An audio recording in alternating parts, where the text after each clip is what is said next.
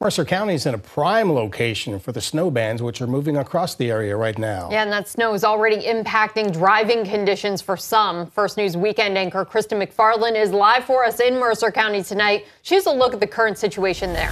Kristen. Dave, Lindsay, yeah, we had that stint of warmer December weather, but it is nothing like that here tonight. I've been out here for a few hours, and although the snow has stopped coming down just a bit, it is getting much colder out here. Here's a look at one of these back roads and why it can be so dangerous when you're driving. I mean, already that snow has just collected right here, and PennDOT is watching. They are monitoring these conditions. They have their plow trucks out, they have their salt trucks out, but these overpasses, these bridges, these interstates, are places where it can get really slick as that temperature continues to drop. Now, if you are noticing that you can't see, visibility is low, and you feel like you need to pull off the road, you're going, you're going to want to do this carefully.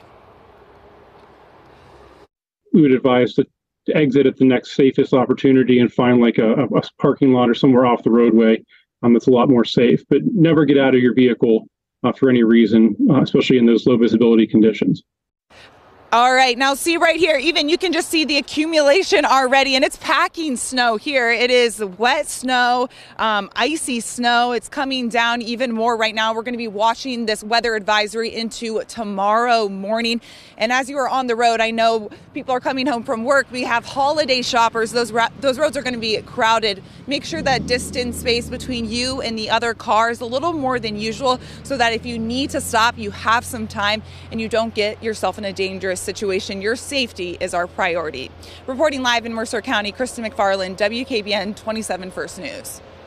Hi everyone, I'm Lindsay Watson. Thanks for watching the WKBN 27 First News YouTube channel. If you want more video news, subscribe to our channel and don't forget to download the WKBN 27 First News app for breaking news alerts.